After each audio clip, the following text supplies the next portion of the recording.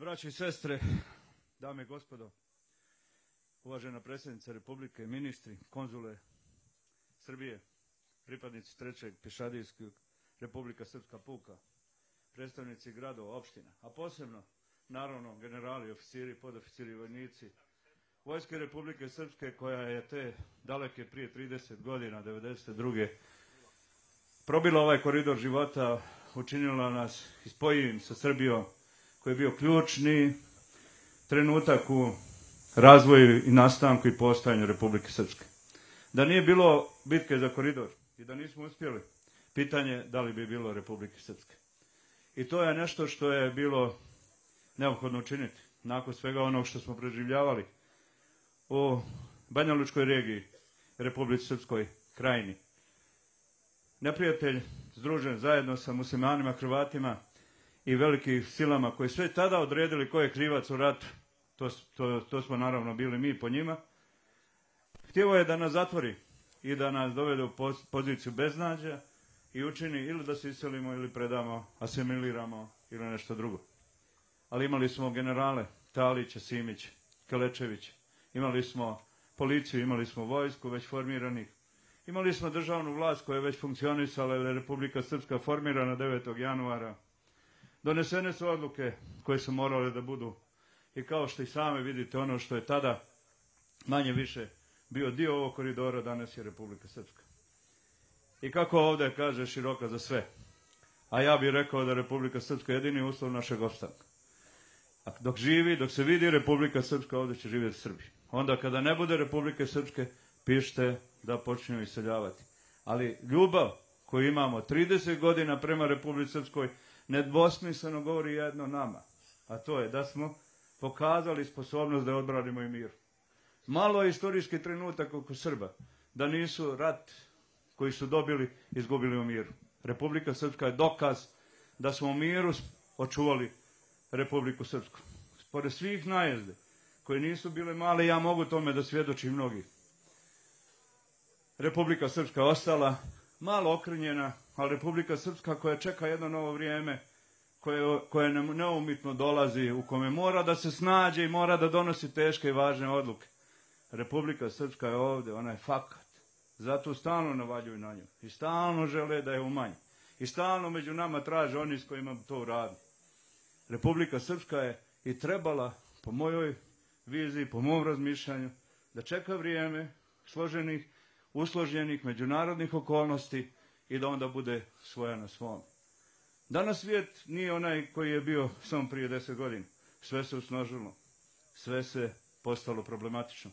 Mnogi se pitaju danas u svijetu šta nam bi. Zašto smo došli u ovu situaciju? Dokle će ovo da traje? Kako ćemo se izvući iz ovog? Ko treba to da uradi? Onaj što je deficit na zapadu je deficit lidera. Odlaskom Merkelove, zapad nema više lidera. Jedini veliki moćni lideri danas na globalnom nivou su Putin i Xi Jinping. Ostali pokušavaju da se nekim tek startovanim ili nedovršenim političarima grade bezbednost energetsku i svaku drugu Europe. Pa su došli u poziciju da gledate danas već tamo kolone nezadovoljnika po velikim gradovima Europe koji, se, koji protestuju protiv toga. Govorili su da im ne treba da im ne treba ruski gas. Govore da im ne treba ruska nafta. Odjednom dobijamo daleko veće cijene. I mi smo ti koji moramo da trpimo zbog toga.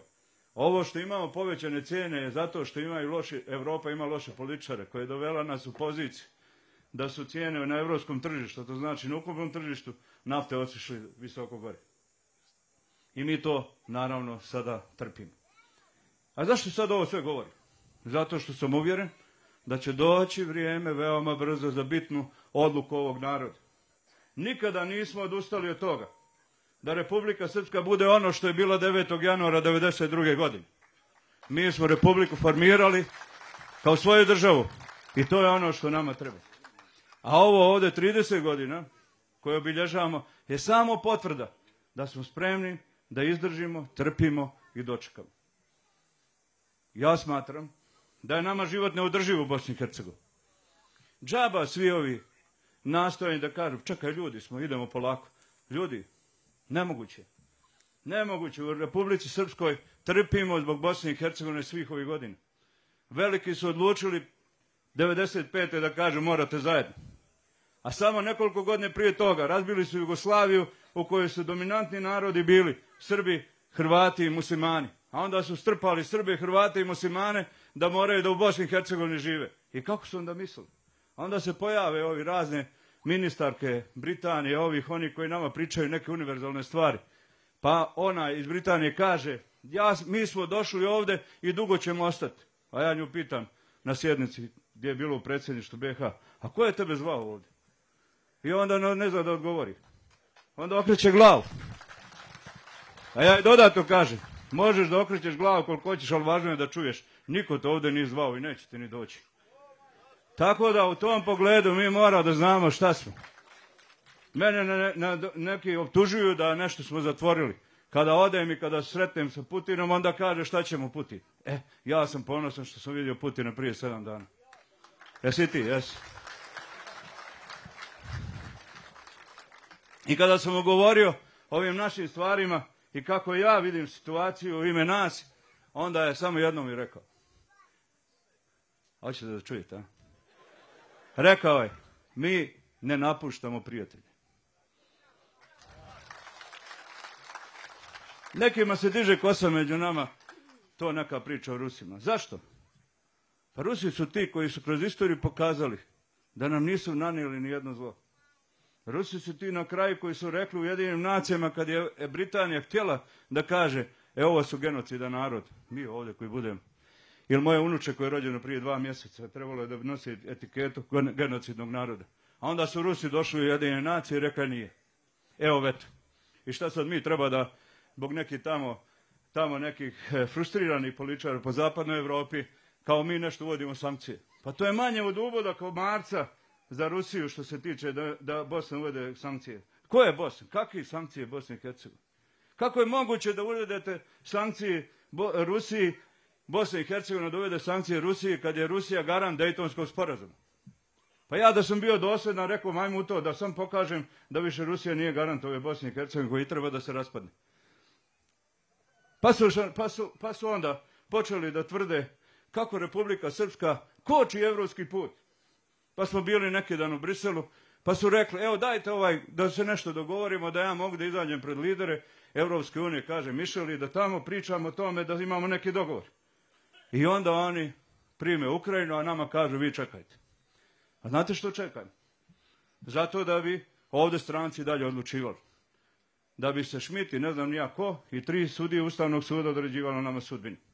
Nama je uvijek bilo važno da sačekamo vrijeme.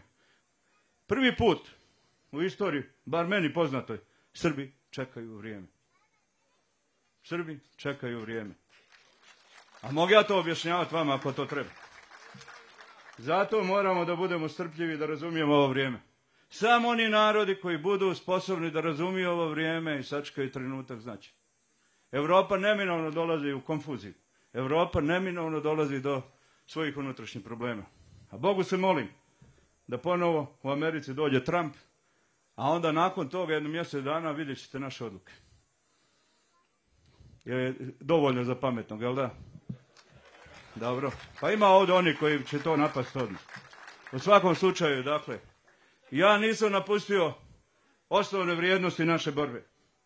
Bio sam oficir Vojske Republike Srpske do 1993. godine, kada je parlamentom, e, parlamentom odlučeno da svi poslanici, a ja sam bio poslanik Narodne skupštine od početka Republike Srpske i jedini su iz te generacije koji još ostaju na političkoj sceni, onda su rekli da je naša ratna obaveza parlament. Pa sjećate oni naši zasjedanja u toku rata.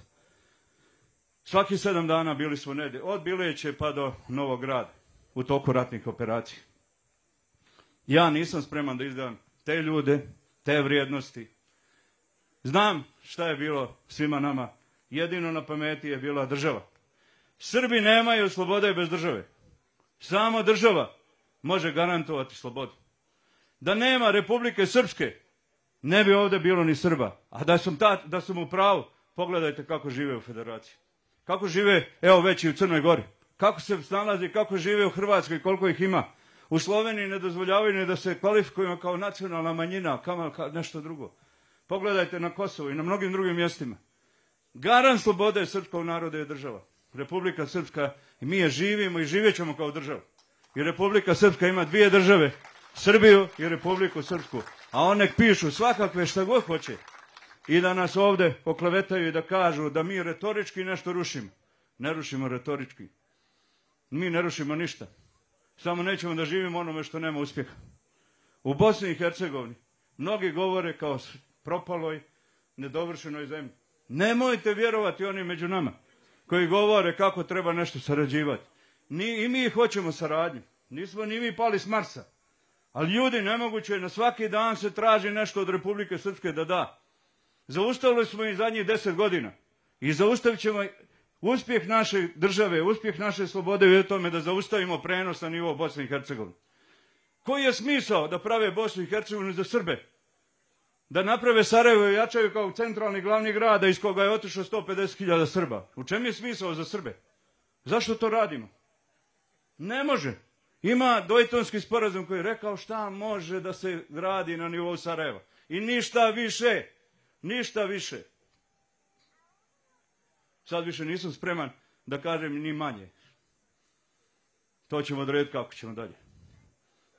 U tom pogledu vas zavjetujem da budete politički, društveno odgovorni, da budete i razumijete ovo vrijeme. Mnogi od nas imaju svoje poteškoće, sreće mnoge ljude, ali mora da razumijete da ovih sa zapada koji dolaze pokušavaju da vas razuvjere, ne, ne, on ne žele da vas uvjere u njihove vrijednosti, nego žele da vas nauče da ne vjerujete u ništa.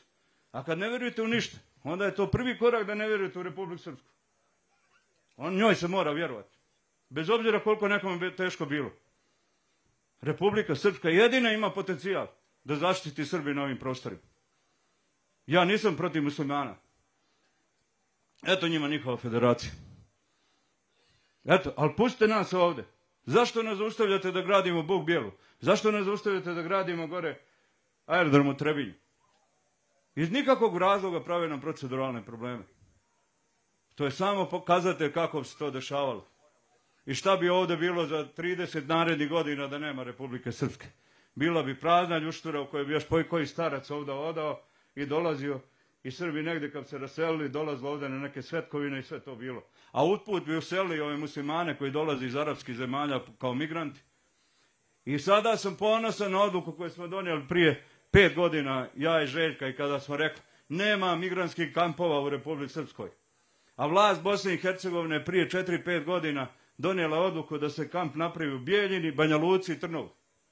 A mi smo rekli ne može. Danas bi gledali mnogo stvari koje danas gledaju oni u Bihaći. I ako isto imaju vjeru, ne mogu nikako zajedno. Znači ovdje se mora braniti svaki dan Republika. Ovdje se mora braniti svaki dan. Što se tiče ove ekonomske i socijalne situacije, ja znam da, da, da stvari nisu kao prije godinu dana. Inflacija je otišla, inflacija je indukovana. Mi pokušavamo da mjerama koje su moguće, mi, mi suvereno vladamo cijenama električne energije. Zadržat ćemo cijene električne energije na niskom nivou, ali ona mora biti opet ekonomična. Ako je porasla nafta, onda znači troškovi proizvodnje električne, e, električne energije u termoelektranama rastu. Toga moramo biti svjesni. Ali ona će uporno ostati najniža u Europi. Najniža za naše ljude. Naša politika je našim ljudima jeftina struje. A ovo što imamo viška izvozimo i pravimo balans u kome imamo ipak boli, kome imamo ipak pozitivan bilans. To je ono što radimo. Nastavljamo i gradit ćemo Republiku Srpsku. Zavjet ove ekipe koja vodi Republiku Srpsku da izgradi autoput Banja Luka Beograd. Taj put, autoput, će biti posvećen proboj koridora. Taj put 9. januar, kako smo ga nazvali, bit će završen u narednih 4-5 godina. Sve smo pretpostavke poduzeli. U narednih mjesec dana krenut ćemo s jednom dionicom. To je od Rače pa do Bijeljine. I nastaviti odavde da gradimo dalje. Ali tu nećemo stati, jer Republika Srpska sva pripada nama. Gradimo i dogovaramo autoput dalje. Od, naravno, Višegrada gdje će doći autoput iz Srbije, jedan će krak ići prema istočnom Sarajevu, drugi ide prema prema Trebinju. Kada to uradimo, Republika Srpska dobija konfiguraciju koju smo željeli, imamo i ona će biti daleko razvijenija. Velikim putevima, autoputevima ljudi dolaze, a malim jedva čekaju da odu. I zato mi gradimo autoputeve. I to će biti ono što želimo. Uvjeren sam da samo okupljanje Srba oko ideje koja se zove Republika Srpska garantuje našu slobodu. Uvjeren sam da zato treba da se žrtvujem. I ja, ja ću to činiti dok živim. Šta god bi radio, moj zavjet je Republika Srpska po svaku cijenu. Živi i zdravi bili.